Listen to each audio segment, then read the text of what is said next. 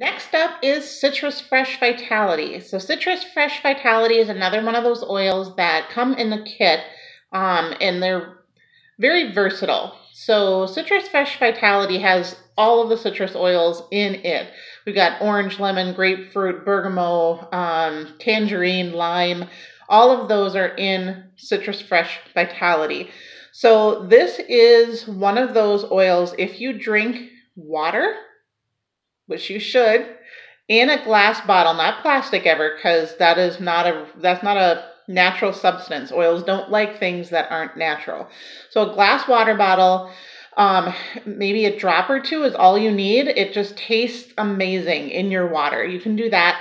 I also recently made uh, sugar cookies and put uh, was probably like 15 drops of Citrus Fresh Vitality into the cookie dough. So the oven probably killed like the therapeutic benefits of it, but the taste was still there. So if you don't want to grate lemon zest and lime zest and make it into your sugar cookies, just or any sort of thing that you're cooking, it could be cake or whatever, um, just adds a really nice fresh flavor. So I would love to hear if you have used any citrus in your cooking lately and if something that we could maybe exchange out for the Citrus Fresh Vitality.